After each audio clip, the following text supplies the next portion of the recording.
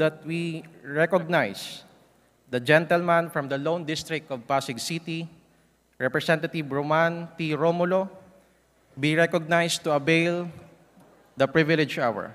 Chairman Roman Romulo, the Lone, Lone District Representative of Pasig is hereby recognized. You have the floor, sir. Thank you, Mr. Speaker, Majority Leader, Speaker Ferdinand Martin G. Romualdez, my distinguished colleagues in the 19th Congress, co-chairperson of EDCOM 2, Congressman Mark Go, EDCOM 2 commissioners, Congressman Kiko Benitez, Khalid Dimaporo, PJ Garcia, Executive Director Karol Mark Yee, to the Advisory Council and Secretariat of EDCOM 2 present here today, a pleasant afternoon to us all. Mr. Speaker, my honorable colleagues, allow me to update this August chamber on the state of education in our country based on the Year 1 report of EDCOM 2. In December 2019, the Organization for Economic Cooperation and Development released the report from the 2018 cycle of the Program for International Student Assessment, or PISA, which the Philippines joined for the first time. Headlines at the time consistently highlighted a distressing reality. I quote, that among 79 participating countries, the Philippines ranks lowest in reading, math, and science. Close quotation. This raised alarms and ignited a collective acknowledgement of issues within our educational system. The subsequent, res subsequent response from Congress, which culminated in the passage of Republic Act number 11899, marked the beginning of our collective endeavor to address the prevailing issues within our education system and ensure that our government provides the caliber of education that our children rightfully deserve. A year ago today, the Second Congressional Commission on Education convened to answer a pressing question. Is our country facing an education crisis? Beyond mere validation, our objective was to delve into the roots of this crisis and understand why it persists. Today, I stand before you to share the initial findings derived from a year spent unraveling the complexities of our educational landscape. These preliminary discoveries, focusing on 12 of our 28 priority areas, result from extensive data analysis and deliberations, 19 hearings, 12 focus group discussions, and 23 site visits across the nation. As we delve deeper, we anticipate a more profound understanding of the challenges at hand, which will, in turn, enable us to craft enduring solutions. Let us begin with early childhood. Studies show that the Philippines has one of the highest rates of under 5 stunting globally.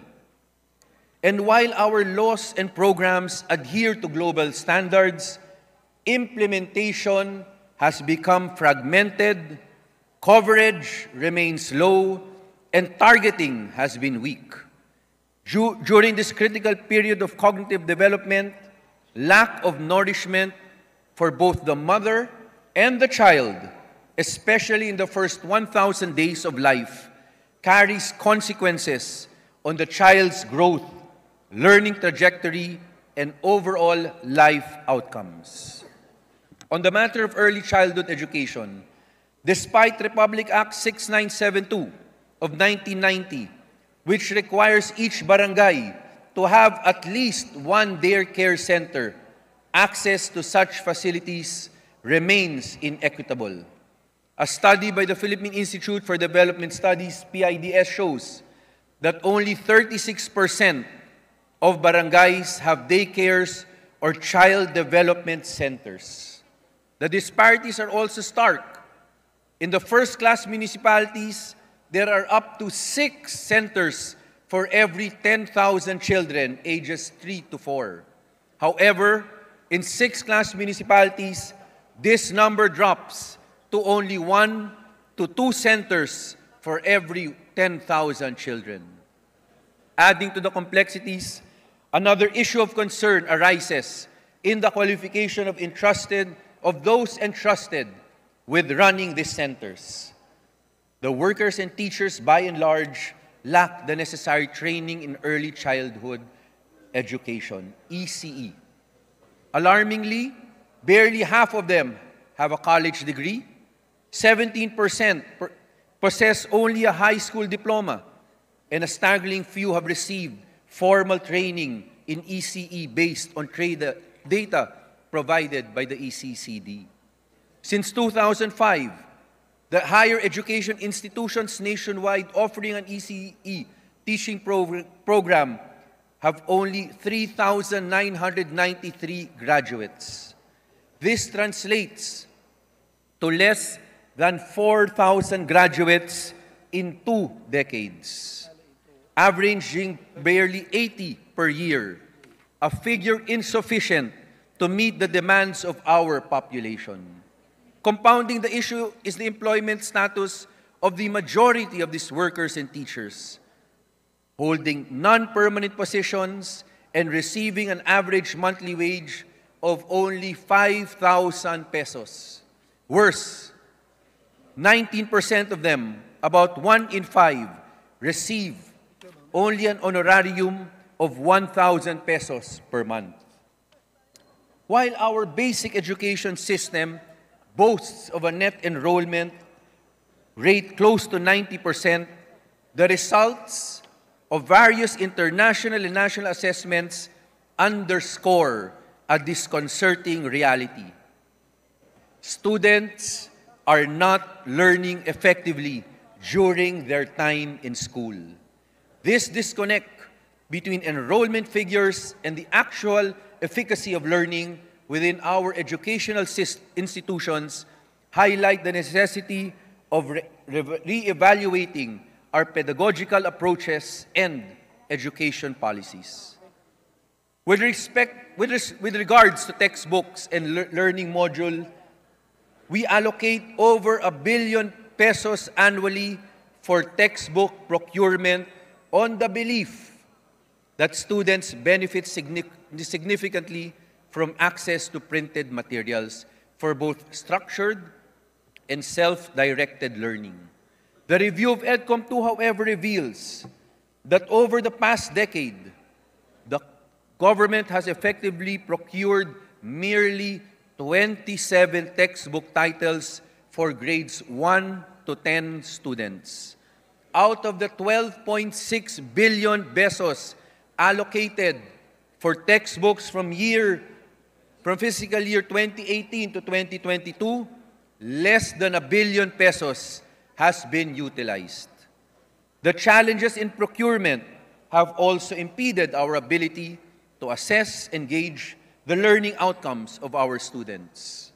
On paper, despite the existence of numerous assessments, such as the National Achievement Test or NAT, designed to inform the, de- the development and adjustment of any such interventions in the basic education sector, EDCOM 2's analysis shows that out of the 27 key stage assessments scheduled from 2016 to 2023, 13 were administered late and 11 were not administered at all. This lapse in conducting assessments at designated times created a void in the system, system's level assessment data. Consequently, stakeholders have resorted to implementing additional tests, resulting in a prolif- proliferation of redundant assessments with varying quality, producing results that neither comparable nor general nor are generalizable at the national level, and ultimately placing an undue burden on teachers who sacrifice valuable instructions, instructional time to administer tests without obtaining meaning, meaningful and actionable results. In response to perceived learning to the perceived learning loss during the lockdown during COVID-19, schools are on track to implement the National Learning Recovery Program. However, as revealed in consultations conducted by EDCOM2, interventions such as the learning camps during the school year breaks may not effectively reach the learners most in need of remediation due to costs associated with attending extra school days in school. It is crucial for us to strive to, make, to making learning equitable and to target support towards those who need it most. Higher education in our country exhibits a paradox. While enrollment numbers are on increasing, we are also seeing heightened dropout rates. Alarming data from the CHED indicate an attrition rate as high as 41% in 2020. Access to higher education also remains elusive for the economically disadvantaged. Despite budget allocations, inequities persist and the intended beneficiaries of the subsidy program deviate from their original purpose.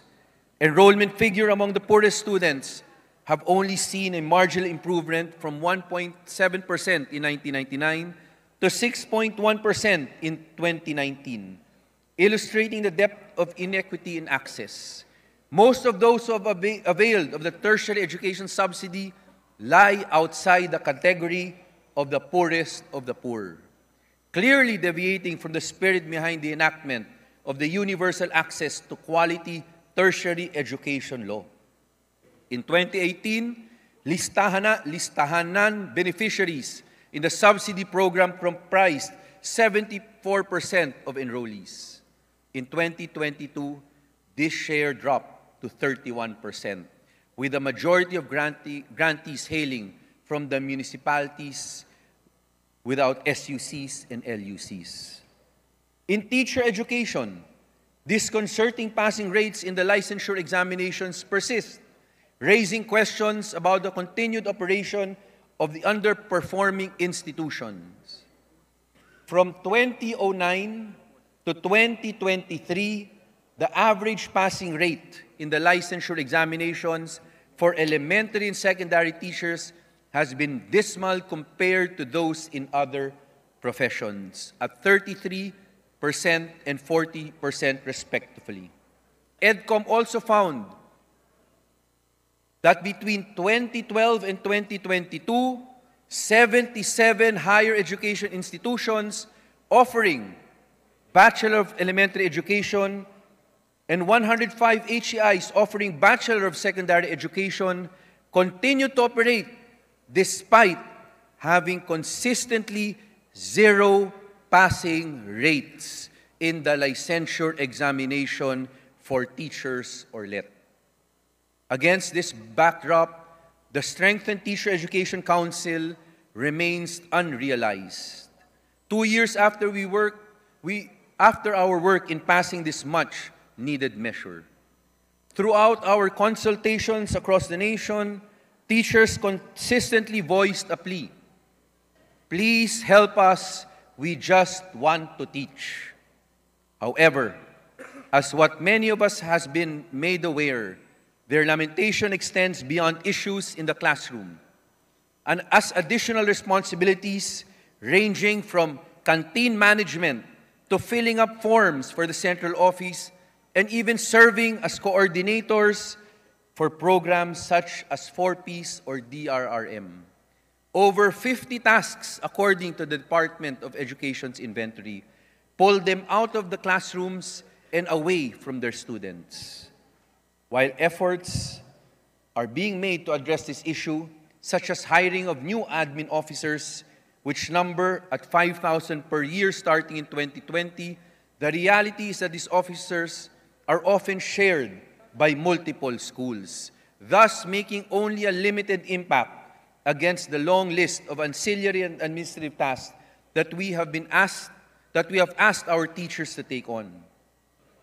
Some of these additional responsibilities date back as far as 1925, as reported in the Monroe Survey. To compound teachers' frustrations, career advancement and professional development opportunities also remain limited. Turning our focus to TechVoc education, we saw an increased participation enabled by the rise in TVET institutions and the expanded subsidies and scholarships provided by the government. However, a majority of these enrollees, 3.7 million from, 2020, from 2014 to 2022, participated in community-based training programs. Unfortunately, these programs typically fall outside the purview of training regulations and thus do not lead to assessment and certifications, which are, in essence, the, the very proof of their acquired skill. In fact, of TESDA's 2,203 programs, only 315 or less than 15% lead to a national certification. This underscores a critical gap in aligning skills, acquisition with required standards, hindering the advancement of our large but mostly uncertified skilled workforce. An additional challenge also lies in the maze of policies governing enterprise based eh, training, with the existence of six distinct government policies and programs contributing confusion on the ground. This is all more concerning considering the majority of our skilling programs, 64% are designed for NC1 and NC2 levels, which yield only marginal improvements in income for our learners after completing the training. Industry participation remains limited and prohibitive, with numerous stakeholders expressing frustration over the voluminous paperwork, rigid but obsolete requirements, and prolonged processing times associate, associated with TESDA. The resounding message, Mr. Speaker, is unmistakable we must invest in higher level qualifications that align with the dynamic demands of the labor market. This requires a transformation in bureaucratic systems, making them more agile and responsible, responsive to the rapidly changing needs of the industry. At the root of these profound challenges in governance, at the root of this are the profound challenges in government, governance and finance. We found that staffing lev levels in education agencies have not kept pace with their growing responsibilities. For example, in 2013 to 2023, CHED's budget increased by 633%, but the agency staffing complement only marginally rose from 543 to 666 during this period, leaving the agency dependent on 752 contract of service and job order personnel.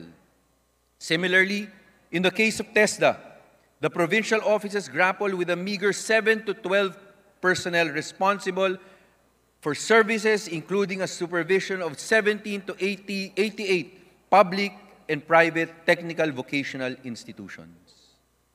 The first EDCOM envisioned the establishment of a National Coordinating Council for Education a high-level coordinating body intended to foster synergy among the DepEd, the CHED, the TESDA. Regrettably, this vision did not materialize. Instead, we find ourselves with 68 interagency bodies working on a broad range of concerns, leading to an impracticable situation that results in misalignment at the system, agency, and individual levels. Despite substantial growth in education funding over the past decade, sustaining increased investments, ensuring absorptive capacity, and strategically allocating resources that genuinely support learning remain crucial challenges. This involves not just the quality of funding, but the effectiveness of its utilization. We must also see these issues at the school level whereas what was discovered during consultations, principals have lamented that their meager school maintenance and operating expenses are easily depleted by electricity bills. In some areas, consuming up to 70% of these funds. The challenges faced by our schools compound in misalignment at the system, agency, and individual levels. Despite substantial growth in education funding over the past decade, sustaining increased investments, ensuring absorptive capacity, and strategically allocating resources that genuinely support learning remain crucial challenges. This involves not just the quality of funding, but the effectiveness of its utilization. We must also see these issues at the school level, where, as what was discovered during consultations, principals have lamented that their meager school maintenance and operating expenses are easily depleted by electricity bills. In some areas, consuming up to 70% of these funds. The challenges faced by our schools, compounded by the inequities in the Special Education Fund, the medium, the median SEF income of municipality stands at 1.6 million pesos, which is roughly equivalent to 4% of the median SEF income of cities and provinces. This contra- the contrast bears fur- further between first income class municipalities, which have 68 times more SEF compared to their sixth income class peers. The SEF burdened with a growing list of expenditures, including nutrition and early childhood education. It therefore becomes incumbent upon us to revisit this policy to ensure equitable resourcing so that no child is left behind. Mr. Speaker, dear colleagues, the Commission's findings highlight the prevailing situation of the Philippine education system as it falls short of several standards. For one, a system is defined as a regular, interacting, or interdependent group of items forming a unified whole. By this standard, the education system in the Philippines struggles to meet the criteria of a true system. Moreover, it has fallen short of fulfilling the constitutional mandate of providing a complete, adequate, and integrated system of education. Instead of working as an interconnected system, the various agencies, bureaus, and offices have often devoted their, their solely on their respective mandates and targets, operating independently of one another. This is evident in the findings uncovered by the Commission in its first year. Ultimately, this fragmentation has led to the miseducation or poorly delivered education of Filipino learners, bringing about a profound education crisis as has been laid bare by both national and international assessments, issues that the Commission is committed to squarely addressing. The headlines we've shared offer a glimpse into the comprehensive findings within the 400 plus pages of EDCOM, EDCOM 2's inaugural year report. Within those pages lies a thorough and measured examination of the challenges permeating our schools from their context and roots to the potential pathways forward.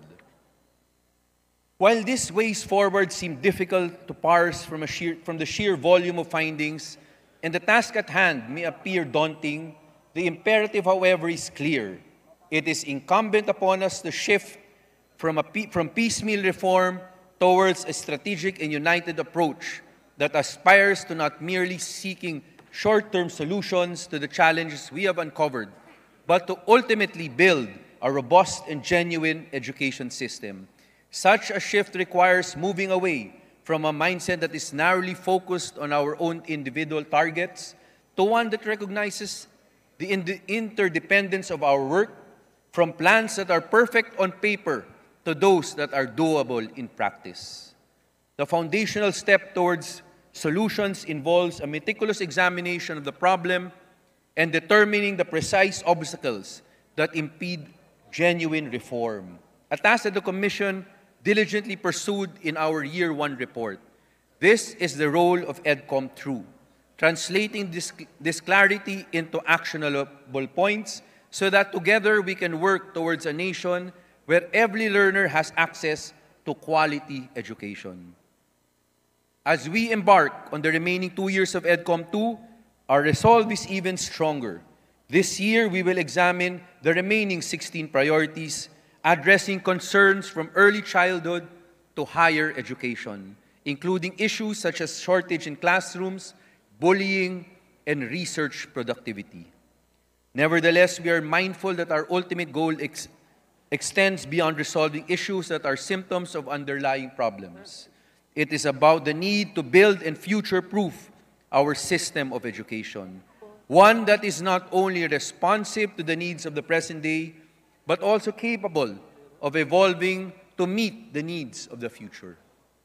We carry forward the momentum gained in our first year, a momentum fueled not just by the tireless work of our advisory council and standing committee members and our colleagues in Congress, but also by the unwavering solidarity and sense of duty of individuals profoundly passionate about Philippine education.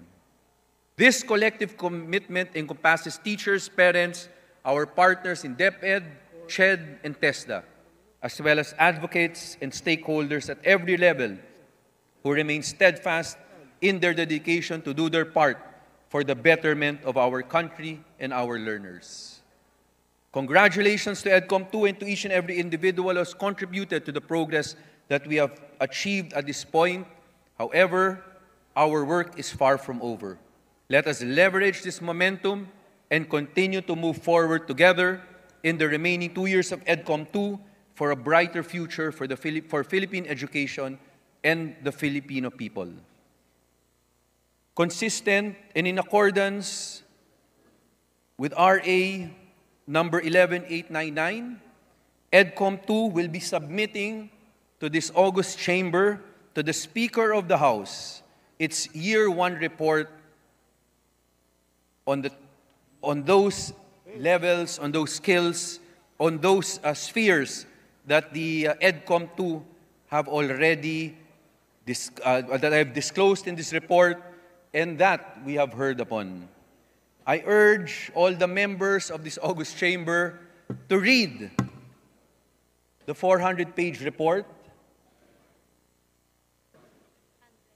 This 400 page this 400 page report is a roadmap already for those basic foundational things that we must do. Again, this is the year one report.